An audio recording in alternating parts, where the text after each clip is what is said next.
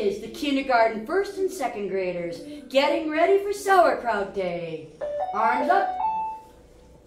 One, two, three. Oh, Mr. Sun,